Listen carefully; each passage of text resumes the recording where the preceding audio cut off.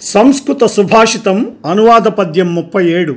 సేకరణ పద్యరచన సహజ కవి డాక్టర్ అయినాల మల్లేశ్వరరావు తెనాలి. గానం గాన కళారత్న శ్రీ వెంపటి సత్యనారాయణ తెనాలి.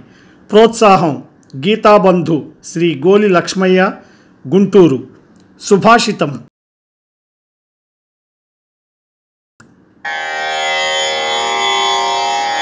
నరస్యాభరణం రూపం రూపస్యాభరణం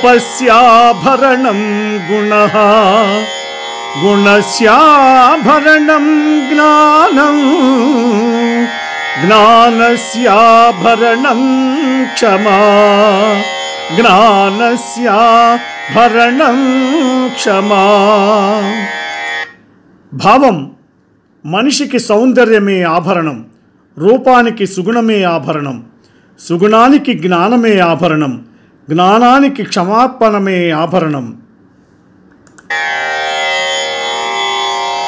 అరయ రూపమే మనిషికి ఆభరణము అతని రూపుకు సుగుణమే ఆభరణము అతని గుణముకు జ్ఞానమే ఆభరణము.